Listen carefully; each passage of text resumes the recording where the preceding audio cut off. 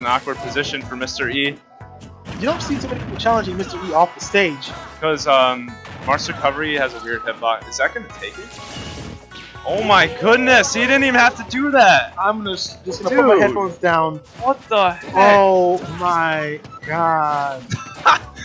oh Marss